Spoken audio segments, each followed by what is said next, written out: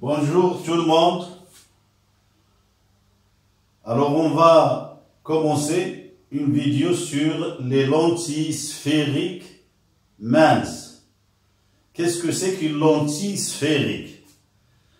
C'est un milieu transparent délimité par deux dioptres sphériques. Voilà un exemple. Alors un dioptre sphérique, celui-là, un autre dioptre sphérique comme ça. Alors les pointillés seulement pour montrer la sphéricité du dioptre. De même ici. Le premier dioptre d'entrée, c'est celui-là de sommet S1 et de centre S1. Le deuxième dioptre, c'est de sommet S2 et de centre C2 on a isolé la partie d'indice N. Par exemple, le vert. D'accord? Ici, on va considérer l'air. Ici aussi l'air. Donc, les rayons entrent de l'air au vert, puis sortent du vert à l'air.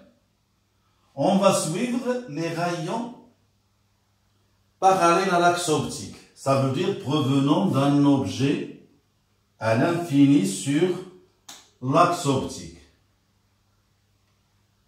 D'accord? Ici, il rencontre le premier dioptre. Voilà la normale, c'est CN1. C'est un milieu plus réfringent, donc il va s'approcher de la normale.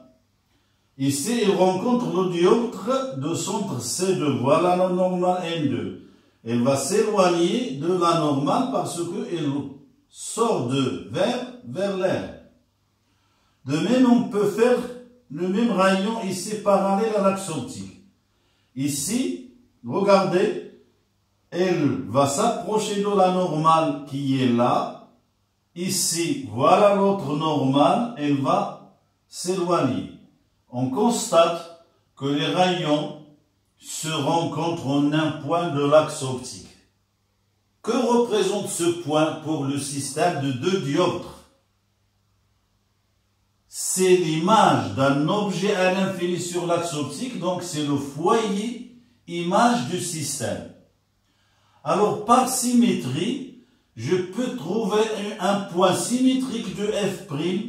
Si les rayons passent par ce point, ils vont sortir parallèles ça sera le foyer objet symétrique à f' ici. Symétrique au, par rapport au centre O. Alors, toutes, les, toutes les lentilles à bord mince, bord mince,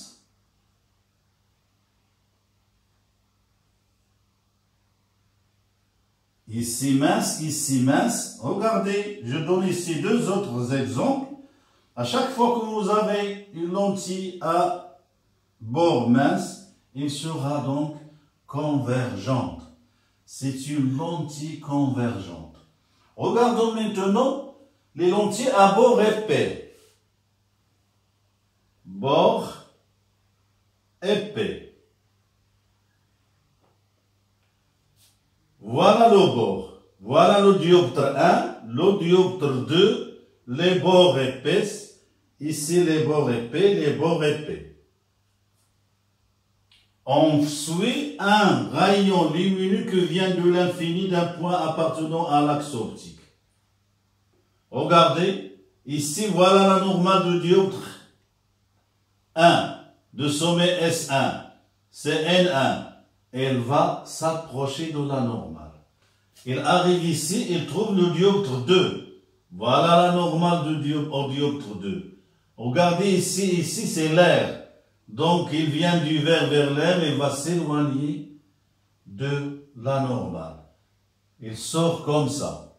Regardez, on fait sa continuité. Voilà sa direction. Il coupe l'axe optique en un point. De même, il fait comme ça. Elle va s'éloigner. Elle va s'approcher de la normale. Pardon. Voilà S1.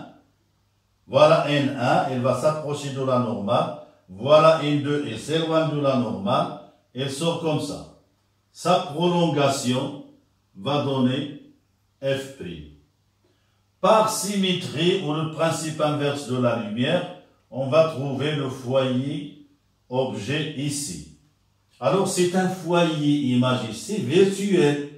Le foyer objet sera réel. Ah, virtuel, pardon. Ici, réel, réel. Ici, virtuel, foyer objet virtuel. Et voilà des exemples de lentilles. Alors ça, c'est une introduction pour voir le mécanisme des lentilles convergentes et divergentes, comment ça se fait. Alors, maintenant, qu'est-ce que c'est On a juste parlé des lentilles sphériques. Maintenant, qu'est-ce que c'est des lentilles sphériques minces? Lentilles sphériques minces, lentilles sphériques minces, voilà leur définition. C'est comme l'indique leur nom. Lentilles sphériques minces. Ce sont des lentilles sphériques, mais le sommet S1 et S2, elles sont très proches. Tout un calcul fait en considérant nos dioptres 1 et 2 et on fait le calcul en optique géométrique, on trouve une formule, on constate que si S1 et S2 est très inférieur au rayon du dioptre 1, voilà le rayon du dioptre 1. Le rayon du dioptre 2, c'est celui-là. à dioptre 2, voilà dioptre 1. De même, S1, S2, très inférieur à R2. Et encore, S1 et S2, très inférieur à la valeur absolue de la différence. Une formule qui n'apparaît pas ici, qui, nous a fourni ça, mais elle est compréhensible. Et on doit comprendre. C'est une lentille comme ça, très mince mais les dioptres sont toujours sphériques. Voilà. J'ai présenté qu'est-ce que c'est qu'une lentille sphérique mince. C'est une introduction. On va s'intéresser aux lentilles sphériques minces. Vous faites une capture pour cette image, pour la garder comme souvenir. Et j'efface.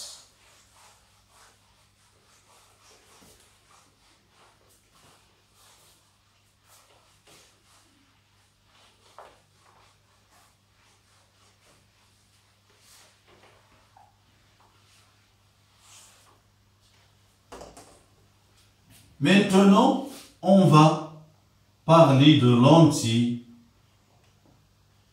sphériques minces. mince. Sphériques minces.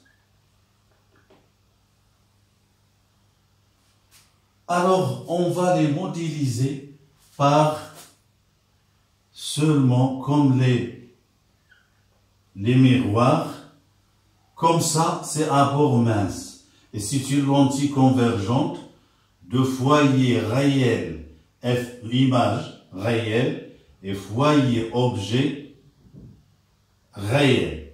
Ici, on l'appelle le centre optique. S1 est confondu avec S2, confondu avec S2, confondu avec O, qui est le centre optique. D'accord?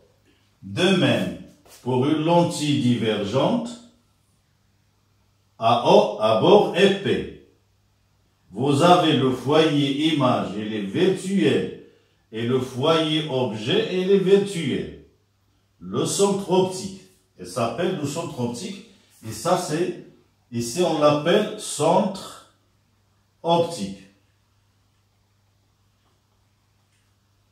Ici, c'est toujours l'axe optique.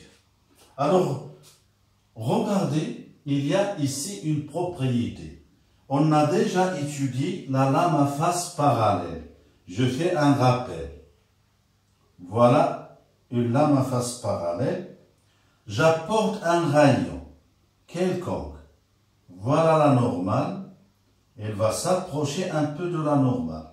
Puis il trouve l'autre normale, elle s'éloigne un petit peu, et on a trouvé que ce rayon et ce rayon sont parallèles.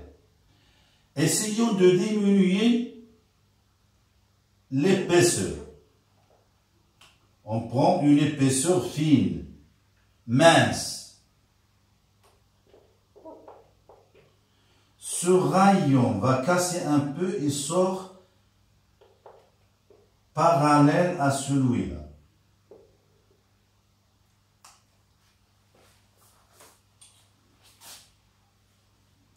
Elle va casser un petit peu, elle va sortir parallèle à celui-là.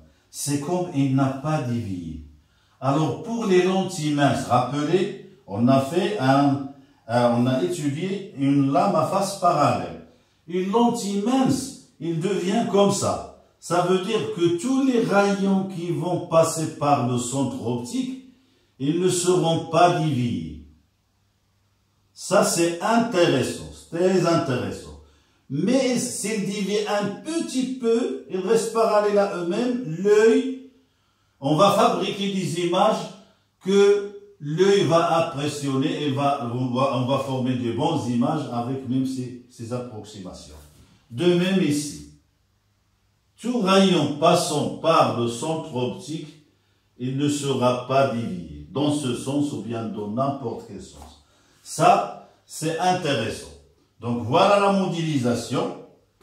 Et voilà une propriété importante, c'est les rayons qui passent par haut ne seront, ne seront pas divisés. On va les considérer non divisés.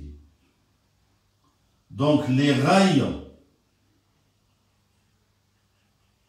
qui passent par le centre optique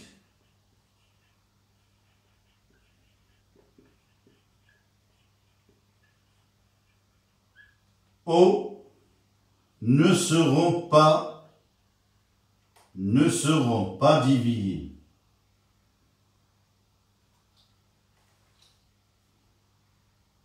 Ne seront pas divisés.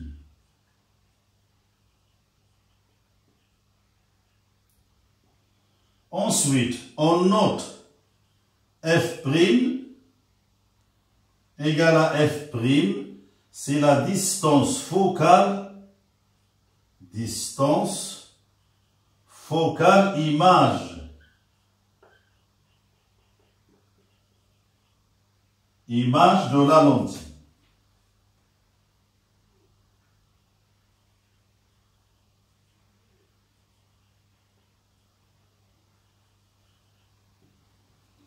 De même, OF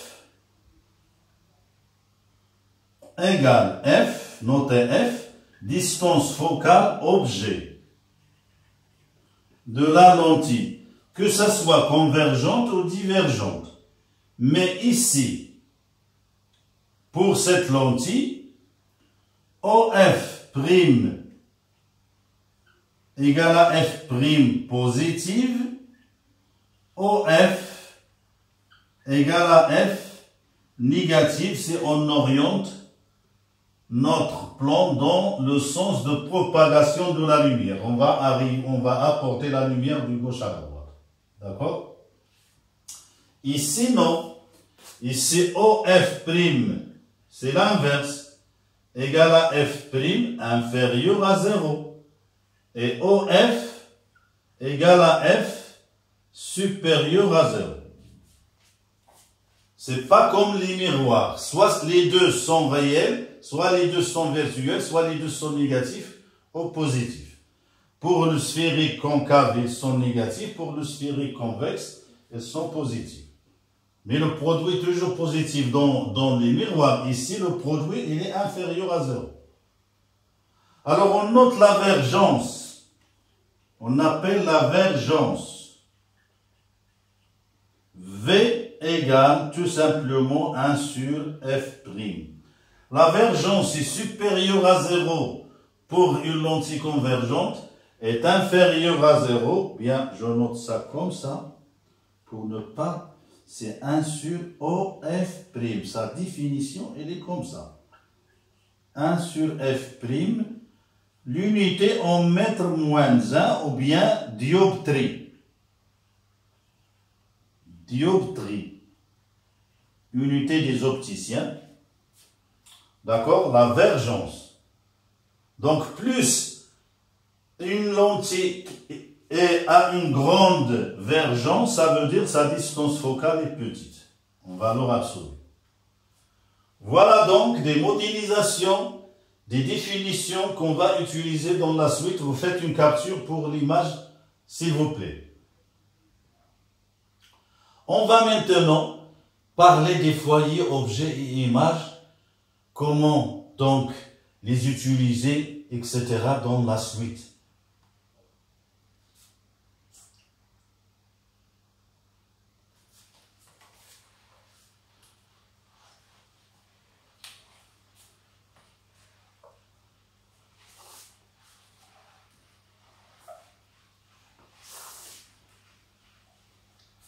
Troisièmement, foyer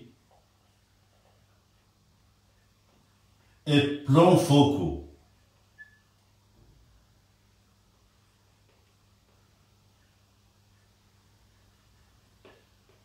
Pour une lentille.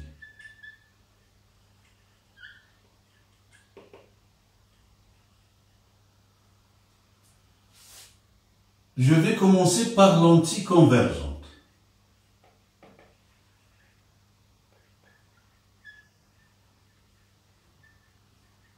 À bord mince.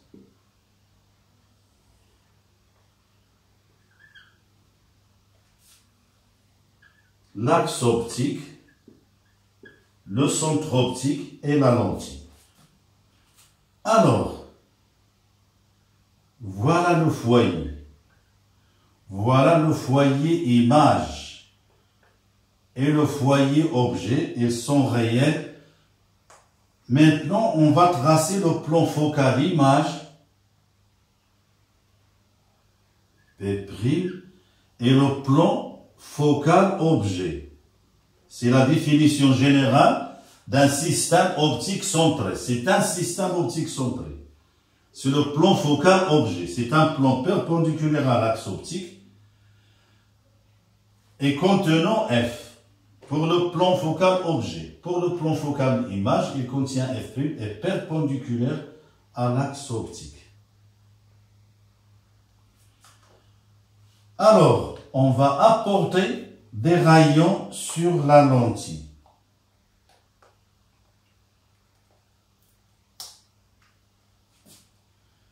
On va apporter des rayons parallèles ils vont passer par F'.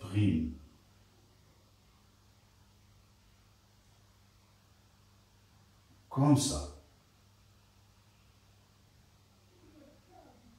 Les rayons parallèles à l'axe optique doivent passer par F'. Les rayons qui sortent de F, qui passent par F, ils doivent sortir parallèles. Je les note par double flèche.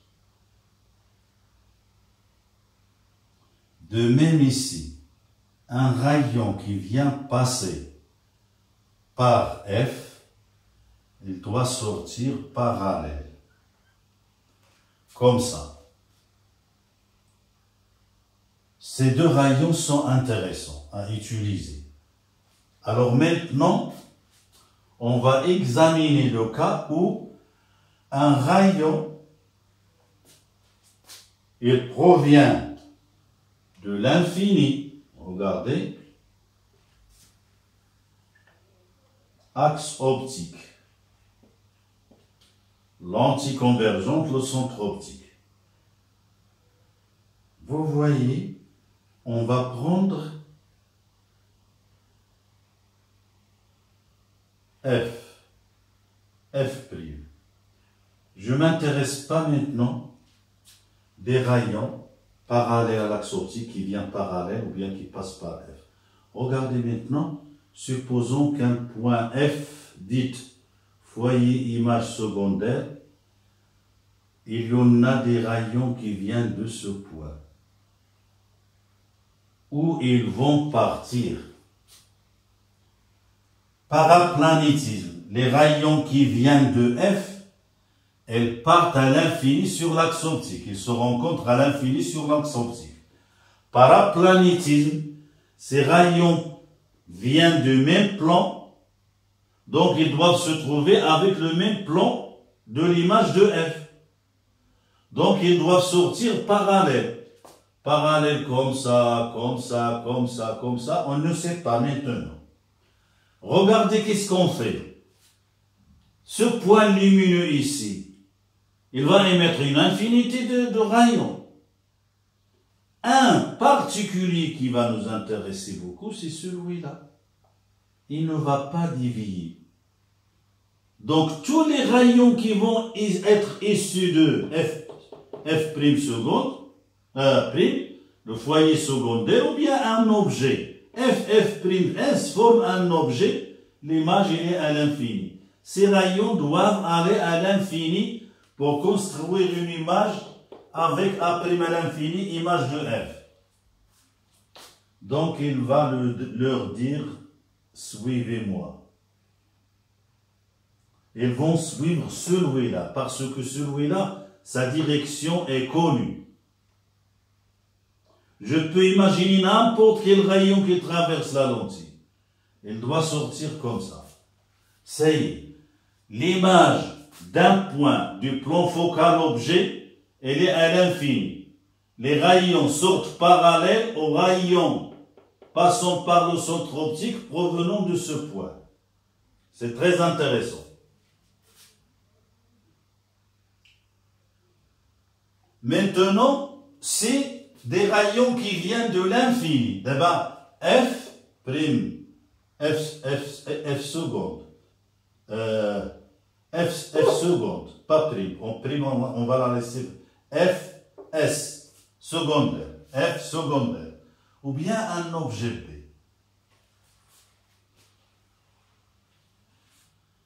Maintenant, on va examiner l'autre cas. Regardez maintenant l'axe optique, centre optique, l'anticonvergent toujours, F et F'. Voilà le plan focal image. Un, un rayon vient de l'infini, mais n'est pas parallèle à l'axe optique il vient d'un point P' à l'infini, n'appartient pas à l'axe optique. Où, vont où, où sera l'image de ce point-là Alors ce B, B s'il vous plaît, c'est pas P. B, il est à l'infini avec A à l'infini. Donc A à l'infini et B à l'infini sont dans un même plan. A à l'infini dans l'image F', paraplanétisme, l'image de B à l'infini doit être sur ce plan. Tous les points de l'infini, ils ont une image sur le plan focal, image paraplanétisme. Tous les points du, foyer du plan focal objet, ils ont une image à l'infini. Alors ceux-là, où ils vont donner l'image. Il y en a une infinité. J'ai schématisé deux.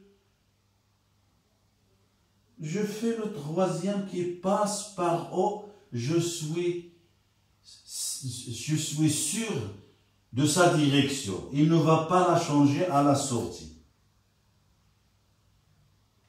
Alors,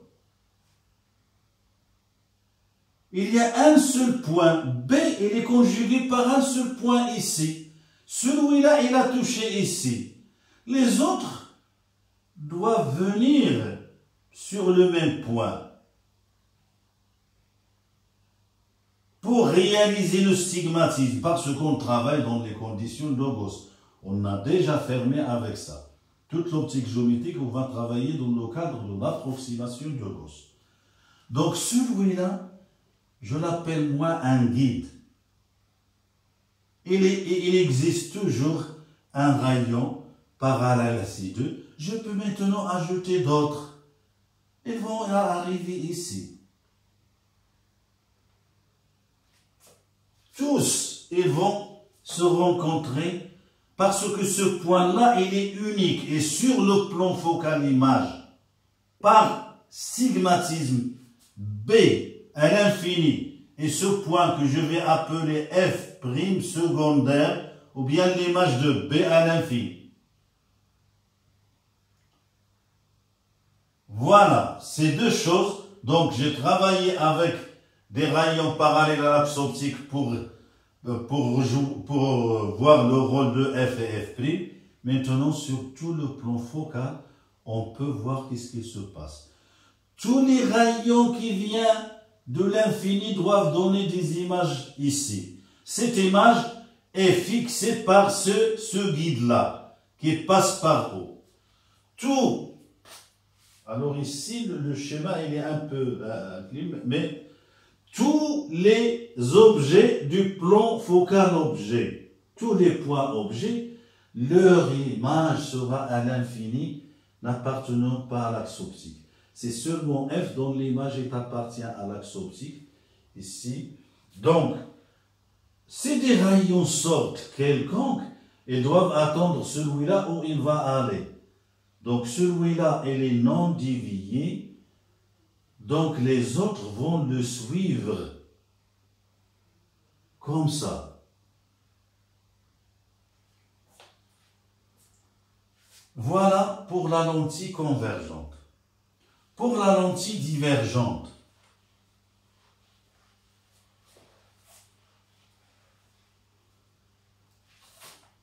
lentille divergente.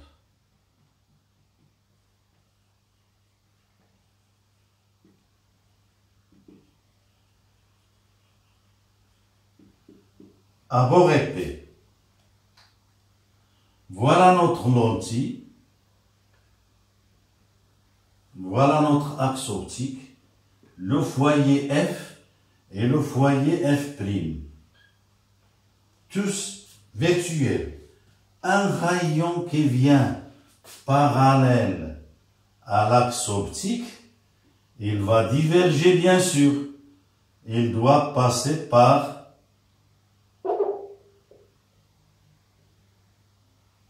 le voilà. Il doit passer.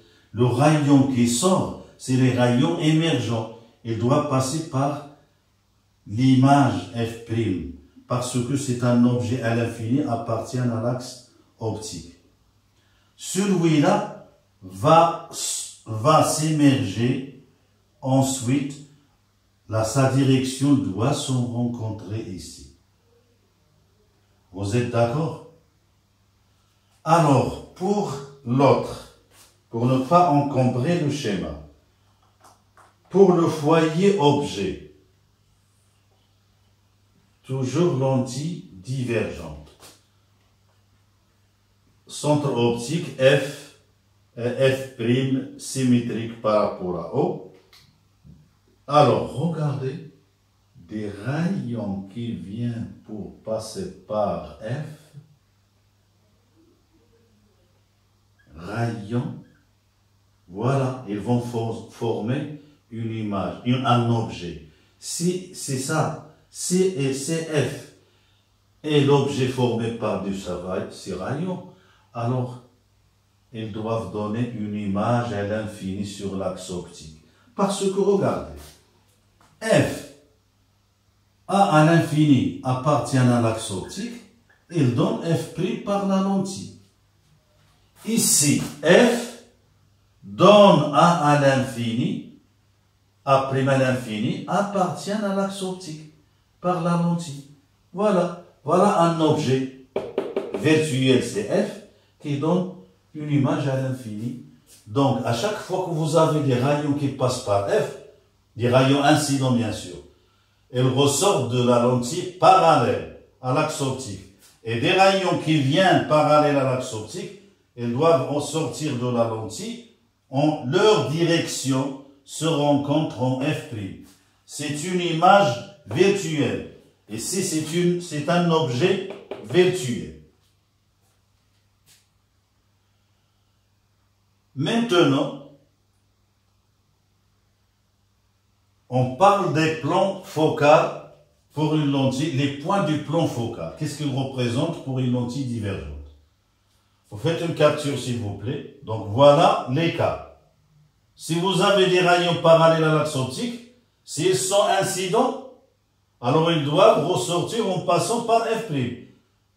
S'ils sont émergents, alors ils proviennent des rayons qui se rencontrent en F. Ils se rencontrent par direct, par continuité. Ce n'est pas un rencontre physique. Le rayon physique est là, est là. Il ne se rencontre pas physiquement en F. Il ne se rencontre pas physiquement en FP. Ils sont virtuels.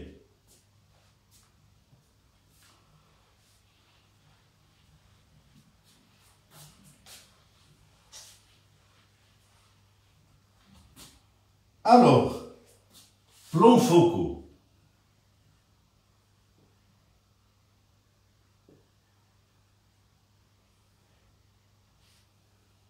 axe optique divergente O. Voilà F', voilà le plan focal image.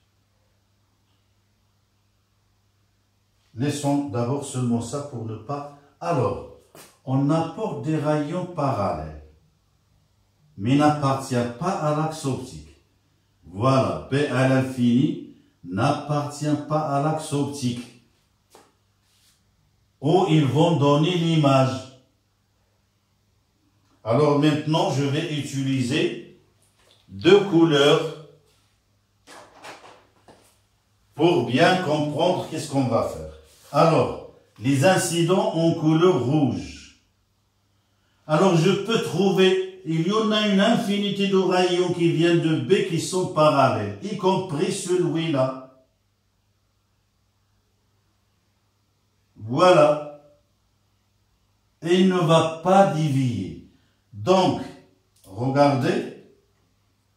Voilà sa continuité en bleu sortant. Où ils vont se rencontrer ces trois. Le point image, ça sera sur le plan focal. Image, P'. Ça y est, il est à l'infini. Il est dans le même plan que A. A dans l'image sur F', B à l'infini, même dans le même plan que A à l'infini, donc ils doivent paraplanétisme, l'image va être ici. Ça, c'est l'image de A à l'infini appartient à l'axe optique. Toutes les images des points à l'infini vont tomber par un planétisme dans ce plan. Alors, il faut donc voir où se rencontrer les trois, les trois rayons réfractés. Voilà le premier, j'utilise cela, je fais sa continuité. Ah, elle est là. Donc les autres, ils doivent sortir pour être, pour que ce point soit stigmatique avec B. C'est ça le guide. Alors en bleu, ils vont sortir comme ça. Voilà. Comme ça. Non.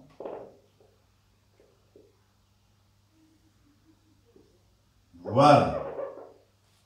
C'est celui-là qui nous montre. Ce point, il existe sur le plan focal et unique. Celui-là a passé par ce point. Celui-là, le bleu, je ne parle pas du rouge. Dans les livres, ils tracent un seul trait. Vous ne comprenez pas qu'est-ce qu'ils disent. Voilà, il faut distinguer, il faut reformer l'image par les rayons émergents. Voilà le bleu émergent, voilà sa continuité, elle passe par ce point. Donc c'est ça, si vous voulez, le foyer image secondaire ou, bien c'est l'image d'un point à l'infini n'appartient pas à l'axe optique. J'examine l'autre cas. Attention, à ces couleurs. J'ai utilisé les couleurs pour dire je dois former mon image avec les rayons qui sortent du système optique. Les voilà. Celui, c'est celui-là qui va passer par, nécessairement par ce point. Donc les autres doivent suivre. C'est pas un va passer par là, l'autre passer par là. Non, ça ne sera pas un stigmatisme. Celui-là passé par là, alors les autres seront bien d'accord pour ce point. Par stigmatisme avec B à l'infini.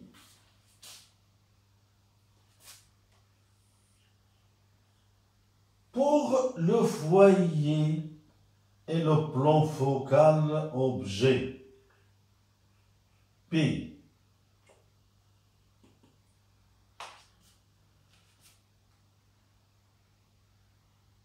je vais donc considérer des rayons qui sortent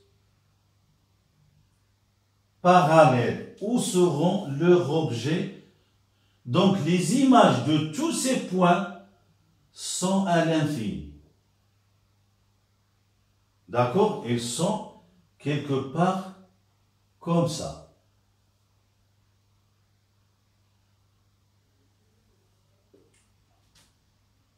Alors, nécessairement, ils sont parallèles à celui-là.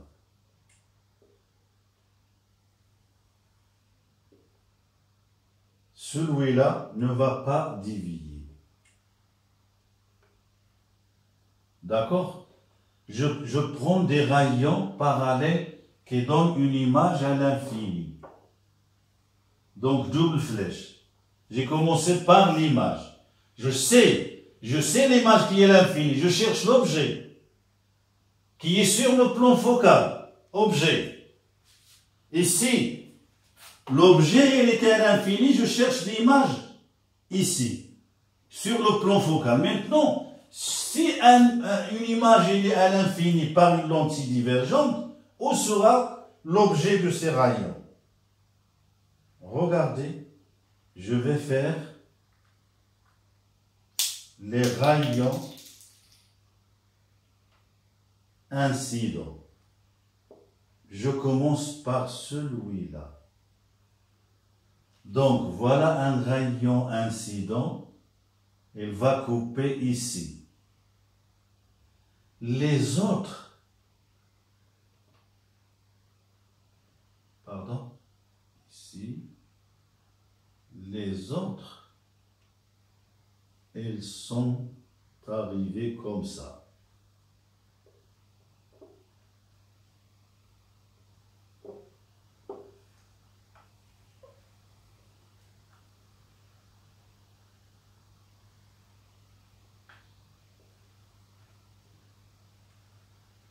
Ça va. Voilà le F secondaire. Donc c'est sûr, regardez, des rayons qui vont venir pour donner cet objet-là. Leurs rayons sortant parallèles à l'infini. Alors ça, c'est l'inverse ici. J'ai supposé un objet à l'infini. J'ai cherché son image. Maintenant, j'ai supposé une image à l'infini. J'ai cherché son objet. Voilà, la prochaine fois, on va euh, euh, construire les relations de conjugaison et euh, formation des images avec les lentilles convergentes et divergentes dans la vidéo prochaine. Vous serez les bienvenus pour la voir. À bientôt.